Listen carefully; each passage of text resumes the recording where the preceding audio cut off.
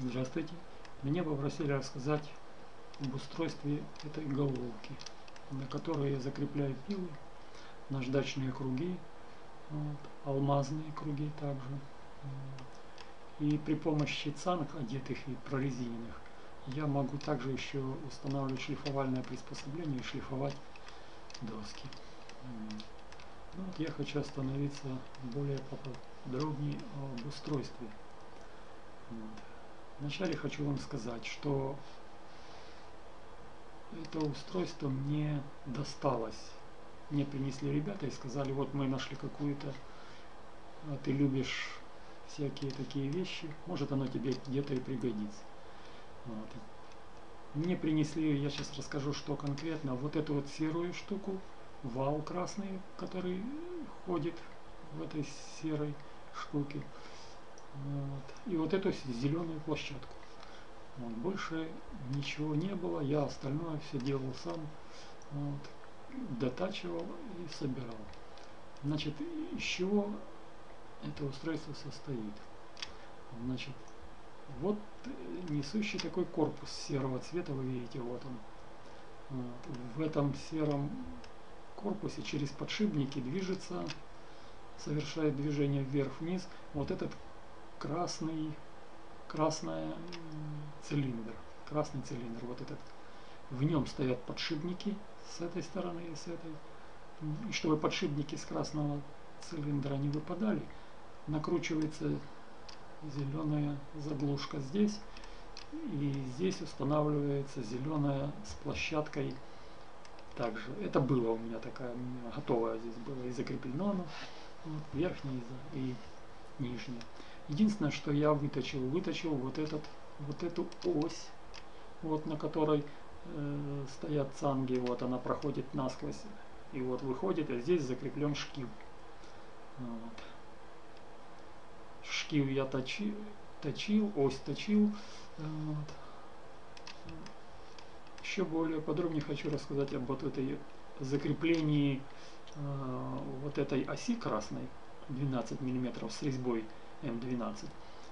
А вот как она выглядит, потому что ее надо закрепить консольно, и она закрепляется консольно вот в этой, в этом, в этой, я назову ее шляпой выточенной, ну, похоже на шляпу.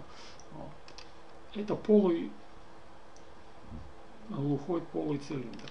Значит, что он делает? В него помещается вот верхняя часть вот этой красной оси с резьбой 12. Значит, эта ось точилась вот с таким вот упором посерединке, видите? И вот это серое, это подшипники упорные. Тут я не указал шарики долго рисовать. Здесь шарик между двух пластинок и здесь. Вот. И таким образом, смотрите, если закрепить, если верхнюю часть этого подшипника удерживать и нижнюю удерживать, то получается вот в эту вот всю, всю, всю ось мы удерживаем в неподвижном состоянии. То есть мы вот эту всю конструкцию помещаем в эту шляпу. Вот. И нижний упор это вот эта синяя пластина, а верхний упор это вот эта шляпа, которая глухая, то есть она дно, ну, не насквозь проточена, вы видите. И таким образом, э, как вам, я думаю, может понятно, я так изъясняюсь на скорую руку. Вот.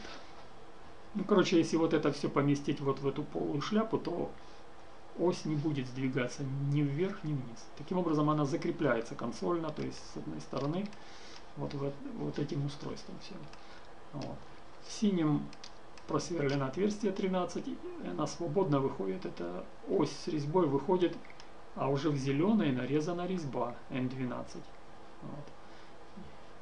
Таким образом, если вращать вот эту ручку, то получается по резьбе ползет наша зеленая пластина вот эта. И, а так как она связана с этим красным цилиндром, то она его поднимает вверх или вниз относительно синей пластины. Значит, э, ход вот, этой, вот этого красного цилиндра 40 миллиметров. То есть можно его поднять на 40 и опустить на 40.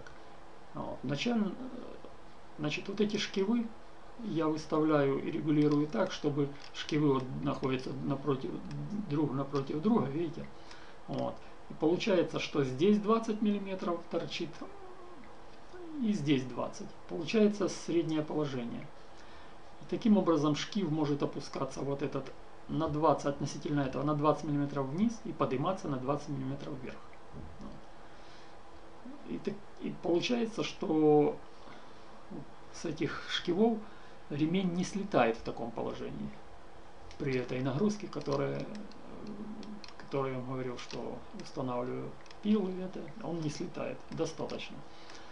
Вот. Ну, это такая будет, будем называть это ну, плавная регулировка, подъема и опускания. Есть более грубые, это вот за счет того, что я на, на вот самой оси, вот здесь могу при помощи цанг устанавливать пилу или наверху, или на низу. Вот. То есть, не, если я закрепил в нижнюю цангу, то пила ниже. Если я закрепил, у меня полностью вал заполнен этими цангами, вот, если я закрепил верхние части, то а, пила будет наверху находиться. Или шлифовальное приспособление. И вот если мне надо очень точно там пилу поставить, допустим, то я могу уже регулировать более тонко, подгонять под те размеры, которые мне нужны. Вот.